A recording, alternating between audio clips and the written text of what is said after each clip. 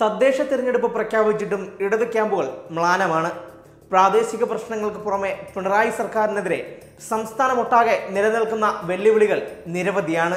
അതിൽ പ്രധാനമാണ് സർക്കാർ ജീവനക്കാരുടെ അതൃപ്തി. പിണറായി അധികാരത്തിലേറിയത് മുതൽ സർക്കാർ ജീവനക്കാരോട് ശത്രുത മനോഭാവമായിരുന്നുവെന്ന് ജീവനക്കാർ കരുതുന്നു.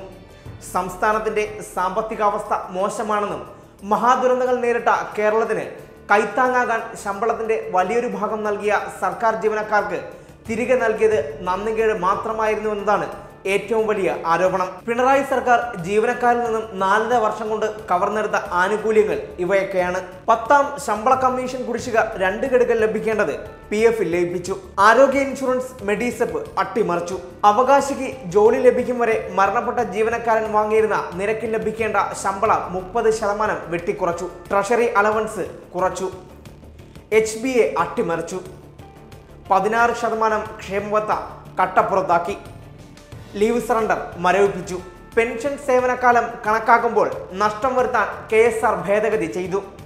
ശമ്പളം പിടിച്ചെടുക്കാൻ ഓർഡിനൻസ് ഇറക്കി. പിടിച്ചെടുത്ത ശമ്പളം പി എഫിൽ ലയിപ്പിച്ചുകൊണ്ട് അടുത്ത സർക്കാരിന്റെ തലയിൽ വെച്ചു.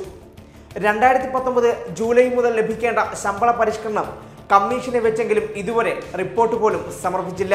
ഇതൊക്കെ ചെയ്ത് പിണറായി സർക്കാർ അധികാരത്തിലിരിക്കുമ്പോൾ നടക്കുന്ന തെരഞ്ഞെടുപ്പിനെ പ്രാദേശിക തലത്തിൽ അത്ര ഊർജസ്വലതയോടെയല്ല സി പി എം കാണുന്നത്.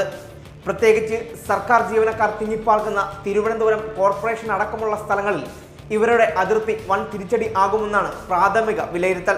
ജീവനക്കാർ കഴിവുകെട്ടവരാണെന്നും അതുകൊണ്ട് അവരുടെ തലയ്ക്ക് മുകളിലൂടെ പ്രൈസ് വാട്ടർ ഹൗസ് കൂപ്പർ ജീവനക്കാരെ സെക്രട്ടേറിയറ്റിൽ ലക്ഷങ്ങൾ ശമ്പളത്തിൽ കുടിയിരുത്താൻ ശ്രമിച്ചതുമൊക്കെ മലയാളികൾ മറന്നിട്ടില്ല. പിണറായി വിജയൻ ശിവശങ്കറിനെ കേരള ഭരണം ഏൽപ്പിച്ചത് മുതൽ നടന്നത് കൺസൾട്ടൻസി രാജായിരുന്നു. സർക്കാർ ജീവനക്കാരെ ഏൽപ്പിച്ചാൽ കേരളത്തിൽ ഒന്നും നടക്കില്ലെന്നും ഇവരെ തീറ്റിപ്പോറ്റേണ്ടതിന്റെ ആവശ്യമില്ലെന്നും സൈബർ സഖാക്കൾ മുതൽ പ്രമുഖ മന്ത്രിമാർ വരെ പ്രചരണം നടത്തി.